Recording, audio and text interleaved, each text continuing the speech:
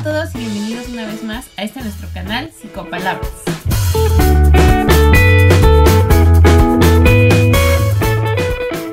Yo soy Rebeca, soy psicóloga y soy psicoterapeuta y sé que he estado un poco ausente del canal, pero hoy regreso porque precisamente el día de hoy en México se celebra el Día del Psicólogo.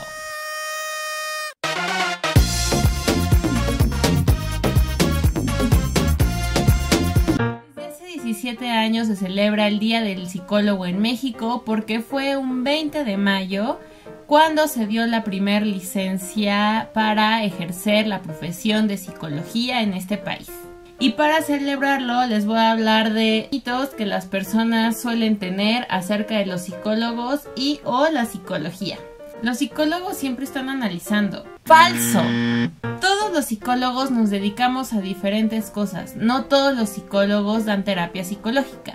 Y dentro de aquellos que dan terapia psicológica, no todos siguen la corriente del psicoanálisis. Hay muchísimas corrientes para dar terapia. Y no solo eso, los psicólogos que nos enfocamos al psicoanálisis no vamos por la vida caminando y viendo a toda la gente y analizando cada una de las cosas que hacen. Sí, la psicología y el psicoanálisis y todos los enfoques se vuelve un estilo de vida, pero ¿qué creen? No trabajamos gratis. Ir al psicólogo, ¿para qué? Yo no lo necesito, eso es para locos.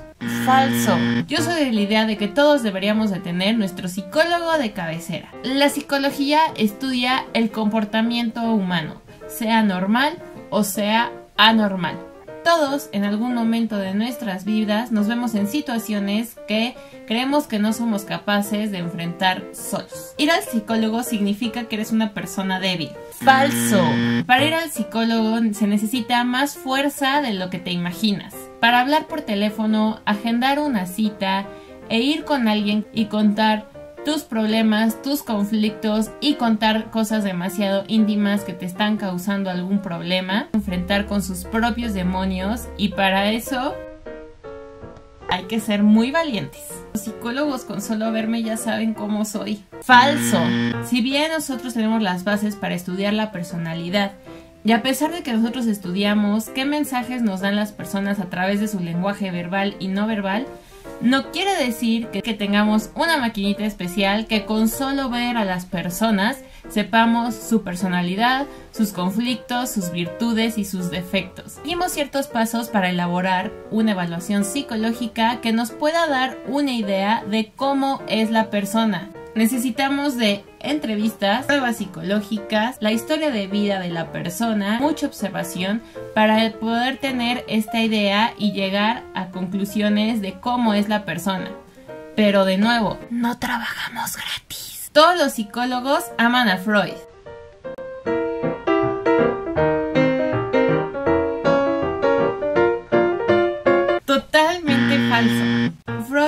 Considera el padre del psicoanálisis y fue pionero en el tratamiento psicológico de las personas. Sin embargo, no todas las personas siguen la teoría de Freud. Dentro de la psicología hay diversos enfoques que no tienen nada que ver con el psicoanálisis. Además, dentro de la corriente de psicoanalítica hay varios psicoanalistas que para nada siguen un psicoanálisis freudiano. De hecho, Freud es de los autores dentro de la psicología que se ha ganado más críticas negativas por todas sus ideas, creencias y por su teoría. Los psicólogos te resuelven la vida. Falso. Ojalá fuéramos los psicólogos todos poderosos para resolverle la vida a todas las personas que se presentan a lo largo de nuestra vida en terapia. Los psicólogos responsables psiconética sabemos que eso no es cierto y no es posible y no te decimos ni qué hacer ni cómo solucionar tu vida. Más bien funcionamos como una guía para que despejes tus pensamientos, tus emociones y tus conductas y tú puedas hacerte responsable de tu propia vida y de tus propias decisiones. ¿Por qué te enojas? Deberías controlarte un poco más. Eres psicólogo. Falso. Los psicólogos somos seres humanos y como todos los demás seres humanos nos equivocamos, tenemos cosas buenas, tenemos cosas malas, sentimos, nos enojamos, nos ponemos tristes, nos ponemos felices, pensamos cosas irracionales, pensamos cosas racionales, así como los médicos pueden presentar resfriados, cáncer o problemas del corazón, Los psicólogos también nos enfrentamos a cotidianidades que a veces son difíciles de resolver por nosotros mismos. Todas las terapias psicológicas son largas. Mito. Todo depende de tu problema, del enfoque que tenga el terapeuta y también mucho del trabajo que tú hagas como paciente. No se va a resolver en el mismo tiempo un duelo que traes arrastrando desde hace 16 años que un duelo que apenas acaba de empezar la semana pasada. Depende de tu estructura de personalidad, depende de qué tan comprometido estés con el trabajo y de nuevo, depende de la forma de trabajar del terapeuta. Todos estos elementos se complementan para determinar el tiempo en el que tú vas a necesitar estar en terapia. La terapia psicológica es carísima.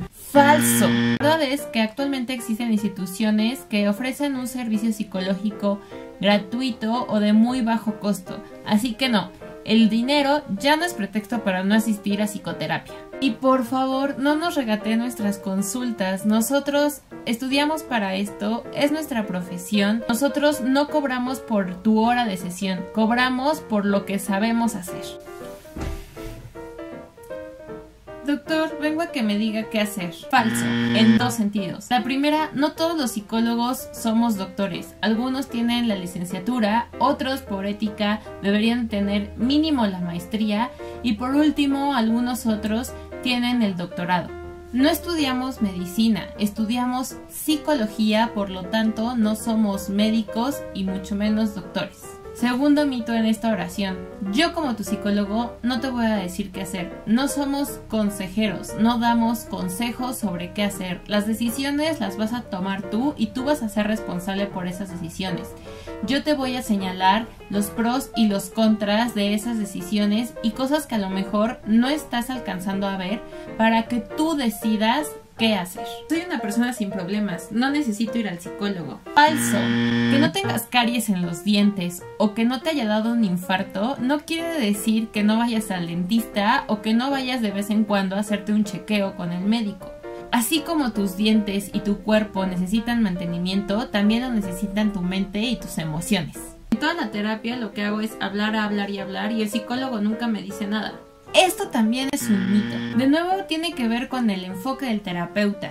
Si es un psicoanalista muy ortodoxo, probablemente toda la sesión esté hablando y él hasta el final te dé una retroalimentación o te diga que se ven en la próxima sesión. Sin embargo, hay otros enfoques donde el terapeuta toma un papel mucho más activo. Depende de cómo te sientas más cómodo. Ahora, que solo hables en sesión no quiere decir que no se esté trabajando. Eso lo tienes que platicar con tu terapeuta. ¿Eres psicólogo? ¿Y lees las cartas? No, los psicólogos no leemos ni las cartas, ni el café, ni el té, ni vamos a adivinar cómo será tu futuro. La verdad es que todos los enfoques siguen un método estudiado, adecuado, para que tú puedas resolver tus problemas y podamos nosotros guiarte en ese camino. Y principalmente trabajamos con el pasado y con el presente para poderte ofrecer un mejor futuro. Sin embargo, no sabemos qué te va a pasar dentro de 10 años. Los psicólogos están más locos que sus pacientes. Bueno, si tomamos en cuenta que la locura es percibir el mundo de forma diferente, pues todos estamos realmente locos porque todos percibimos la realidad de diferentes formas. Y nosotros como psicólogos estamos igual que tú de perdidos en esta vida. No tenemos todas las respuestas, sin embargo podemos acompañarte en ese oscuro camino llevando una lámpara que pueda guiarnos a los dos. Y por mi parte ha sido todo por el día de hoy. Les mando un abrazo súper fuerte a todos mis colegas. Muchas gracias por poner un granito de arena en este camino de la psicología y en este estilo de vida tan padre que tenemos. Si tú no eres psicólogo, te recomiendo 100% que vayas a terapia. No lo olvides, date la oportunidad de autodescubrirte, autoconocerte y arreglar cosas que a lo mejor no has podido solucionar en tu vida. Gracias por ver, comentar y compartir. No olviden suscribirse y nos vemos en terapia. Bye.